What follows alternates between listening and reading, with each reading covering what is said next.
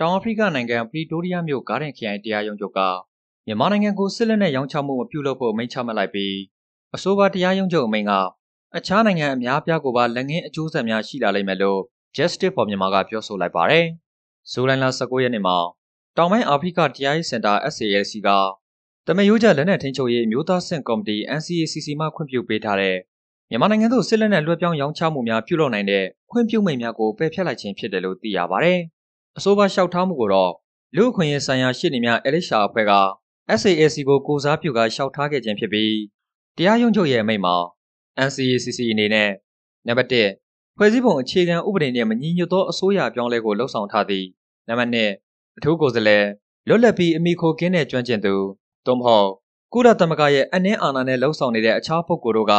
လူသားမျိုးနွယ်ပေါ်ကျူးလွန်တဲ့ရာဇဝတ်မှုစစ်ရာဇဝတ်မှုသို့မဟုတ် လူမျိုးတုံးတပ်ဖြတ်မှုတစ်ခုခုကျူးလွန်ထားတယ်လို့ကြိုးကြောင်းစီလျော်စွာတန်တရားဖြစ်ခံထားတဲ့နိုင်ငံတစ်ခုသို့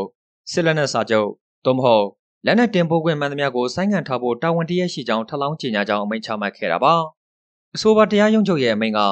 တောင်အာဖရိကနိုင်ငံမှမြန်မာနိုင်ငံသို့နောင်လက်နက်ရောင်းချမှုမှန်သမျှအတွက်သာမကအခြားနိုင်ငံအများအပြားကိုပါလက်ငင်းအကျိုးဆက်များရှိလာမှာဖြစ်ရာ SALC နဲ့ LHR ဖွဲ့တို့နဲ့အတူ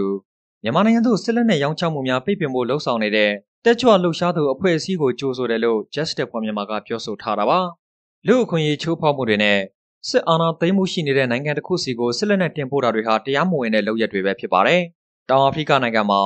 တာဝန်ယူမှုတာဝန်ခံမှုပုံမကောင်းမွန်တဲ့စစ်လက်နက်ကုန်သွယ်ရေးစနစ်တရက်ဖန်တီးဖော်ဆောင်ရမှာအခုမိန့်ကအရေးပါလာပါတယ်လူအခွင့်အရေးနဲ့နိုင်ငံတကာဥပဒေတွေဟာစစ်လက်နက်တင်ပို့မှုတွေအတွက်အထင်ကိုပေါင်းတွေဖြစ်တယ်ဆိုတာဒီအမိန့်ကပြသနေပါတယ်ပြစ်တင်ရှုံချတယ် စိုးရိမ်ပူပန်တဲ့ဆိုတဲ့စကားလုံးတွေတက်တက်နဲ့တော့မလုံလောက်ဘူးဆိုတာကိုမြန်မာနိုင်ငံဥပမာကပြသနေပါတယ်လူအခွင့်အရေးအတွက်တောင်းဆိုတိုက်ပွဲဝင်ရမှာ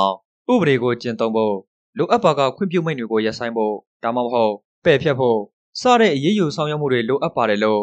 SAAC ရဲ့နိုင်ငံတကာမျှတရေးဌာနခေါင်းဆောင်ဖြစ်တဲ့ဒေါက်တာအထီလာကစ္စလာကပြောဆိုထားတာဖြစ်ပါတယ်။တောင်အာဖရိကနိုင်ငံဟာ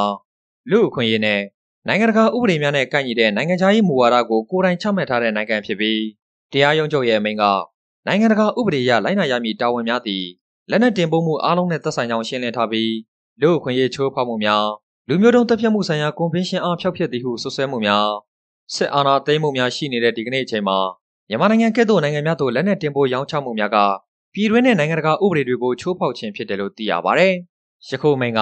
အမိန့်အတွင်းဖော်ပြထားတဲ့အုပ်စုအတွင်းကြာရောက်နေတဲ့နိုင်ငံများသို့တင်ပို့မှုများအတွက်ခွင့်ပြုချက်များအားလုံးကိုပြန်လည်ဆန်းစစ်ဖို့ဆိုင်းငံ့ရန် သို့မဟုတ်ဆန်းစစ်ဖို့သို့မဟုတ်ပယ်ဖျက်ဖို့ NCACC ကိုညွှန်ကြားထားပြီးအခြေခံအပြင်ယခုအမိန့်ကလူ့အခွင့်အရေးကိုအခြေခံတဲ့နိုင်ငံတကာဥပဒေကိုလေးစားလိုက်နာတဲ့နိုင်ငံခြားရေးမူဝါဒတစ်ရပ်ကိုဖော်ဆောင်နေခြင်းဖြစ်တယ်လို့လည်းသိရပါတယ်။ဒီအမှုဟာဥပဒေဆိုင်ရာလိုက်နာရမယ့်တာဝန်တွေဖြစ်အောင်သာမကကျင်းဝတ်ဆိုင်ရာတာဝန်ရှိမှုအကြောင်းလည်းပဲဖြစ်ပါတယ်။ထင်ရှားတဲ့တည်ထောက်ထားတွေရှိနေချိန်မှာ NCACC ရဲ့ရေးယူဆောင်ရွက်မှုမရှိခဲ့တာဟာဥပဒေကြောင်းဆိုင်ရာထိန်းကွပ်မှုကိစ္စတသက်မဟုတ်ပဲ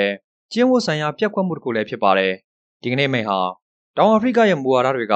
ကျွန်တော်တို့ရဲ့တန်ဖိုးတွေနဲ့အခြေခံမှုတွေကိုထင်ဟပ်ကြောင်းတေချာစေမဲ့အလားအလာရှိနေပါတယ်လို့အဲလီရှာမှာတရားလွှတ်တော်ရှိနေဖြစ်တဲ့ Chan Tracy ကပြောဆိုထားတာဖြစ်ပါတယ်။2016နဲ့2018ခုနှစ်များမှာမြန်မာအာဏာပိုင်များက၎င်းတို့ရဲ့ပြည်သူတွေပေါ်ပြန်လည်ကျူးလွန်တဲ့ပြစ်မှုဖြစ်တဲ့နိုင်ငံအတွင်းဆိုးရွားတဲ့လူ့အခွင့်အရေးချိုးဖောက်မှုများရိုဟင်ဂျာလူနည်းစုများရဲ့ဒုက္ခသည်အကျပ်အတဲနဲ့ရိုဟင်ဂျာလူနည်းစုတွေအပေါ်လူမျိုးတုံးတပ်ဖြတ်မှုလိုဆွဆွဲမှုများကိုဖြစ်ပေါ်စေတဲ့လုပ်ရများကိုကျူးလွန်ခဲ့ကြောင်း မြန်မာနိုင်ငံလူ့အခွင့်အရေးအခြေအနေဆိုင်ရာကုလသမဂ္ဂအထူးကိုယ်စားလှယ်နဲ့မြန်မာနိုင်ငံဆိုင်ရာကုလသမဂ္ဂလွတ်လပ်သောအချက်အလက်ရှာဖွေရေးအဖွဲ့ကဲ့သို့သောကုလသမဂ္ဂအဖွဲ့အစည်းများသည်စစ်ကောင်းဆောင်များအားလူမျိုးတုံးတပ်ဖြတ်မှုလူသားမျိုးနွယ်ပေါ်ကျူးလွန်တဲ့ရာဇဝတ်မှုများနဲ့စစ်ရာဇဝတ်မှုတွေအတွက်စုံစမ်းစစ်ဆေးရန်နဲ့တရားစွဲဆိုရန်လိုအပ်တယ်လို့၎င်းတို့ရဲ့သက်ဆိုင်ရာအစည်းအဝေးခန်းစာများမှာထပ်ခါတလဲလဲပြောကြားထားတာကိုလည်းတွေ့ရပါတယ်။ထို့အခြေအနေမှာအပြည်ပြည်ဆိုင်ရာရာဇဝတ်ခုံရုံး ICC ကဆွဆွဲထားတဲ့လူသားမျိုးနွယ်ပေါ်ကျူးလွန်တဲ့ရာဇဝတ်မှုတွေအတွက် မြန်မာနိုင်ငံဘင်္ဂလားဒေ့ရှ်နိုင်ငံရဲ့အခြေအနေကိုစုံစမ်းစစ်ဆေးဖို့2019ခုနှစ်နိုဝင်ဘာလ14ရက်နေ့မှာ ICC ရဲ့တရားစွဲဆိုရေးဆိုင်ရာဥပဒေရရှိသို့ခွင့်ပြုပေးခဲ့ကြောင်းဒီကြားအမှုတရအနေနဲ့2020ခုနှစ်ဇန်နဝါရီလ23ရက်နေ့မှာအပြည်ပြည်ဆိုင်ရာတရားရုံး ICJ ကမြန်မာနိုင်ငံဆိုင်ရာအစီအမံများကိုထုတ်ပြန်ခဲ့ပြီးမြန်မာနိုင်ငံအနေနဲ့၎င်းတို့အာဏာပိုင်နေမြေအတွင်းရှိရိုဟင်ဂျာအုပ်စုဝင်များနဲ့ဆက်လင်း၍လူမျိုးတုံးတပ်ဖြတ်မှုဆိုင်ရာကွန်ဗင်းရှင်းနှင့်အညီလိုက်နာဆောင်ရွက်ဖို့ညွှန်ကြားခဲ့တယ်လို့သိရပါဗျ။ 2021ခုနှစ်ဖေဖော်ဝါရီလ10ရက်နေ့မှာမြန်မာစစ်တပ်ကဒီမိုကရေစီနည်းကျရွေးချယ်တင်မြှောက်ထားတဲ့အစိုးရကိုအခြေခံဥပဒေနဲ့မလျော်ညီတဲ့အာဏာသိမ်းမှုနဲ့ဖျောက်ချခဲ့ပြီး2019ခုနှစ်မှ2021ခုနှစ်အတွင်းတောင်အာဖရိကနိုင်ငံမှမြန်မာနိုင်ငံသို့စုစုပေါင်းအမေရိကန်ဒေါ်လာတန်118သိန်း66,216တန်ဖိုးရှိတဲ့စစ်လက်နက်များတင်ပို့ခဲ့ပြီး SASC က၎င်းရဲ့တိုင်ကြားချက်ကိုတရားရုံးချုပ်သို့2022ခုနှစ်အောက်တိုဘာလမှာတင်သွင်းခဲ့တယ်လို့သိရပါဗျ။ ဒီလိုလက်နက်လွှဲပြောင်းရောင်းချမှုတွေဟာပြည်တွင်းဥပဒေနိုင်ငံတကာဥပဒေတွေနဲ့မကိုက်ညီကြောင်းရှင်းလင်းပြောကြားခြင်းအပြင်အခုအမိန့်ဟာမြန်မာပြည်သူတွေကိုကာကွယ်ပေးမှာဖြစ်တဲ့အတွက်တရားရုံးချုပ်ရဲ့ယခုကိစ္စအပေါ်ချမှတ်တဲ့စီရင်ချက်ကိုကြိုဆိုပါတယ်။ဒီလိုခွင့်ပြုချက်မျိုးကအစာကတည်းကအတီးမပြူပေးခဲ့တဲ့ခွင့်ပြုချက်တွေဖြစ်ပါတယ်။တောင်အာဖရိကလက်နက်လွှဲပြောင်းရောင်းချမှုဆိုင်ရာအာဏာပိုင်တွေအနေနဲ့တရားရုံးရဲ့ဆုံးဖြတ်ချက်ကိုအပြည့်အဝအသက်ဝင်အောင်ဆောင်ရွက်မယ်မျှော်လင့်ပါတယ်လို့ Justice for Myanmar ရဲ့ပြောရေးဆိုခွင့်ရှိသူမယရနာမောင်ကပြောဆိုထားတာပဲဖြစ်ပါတယ်။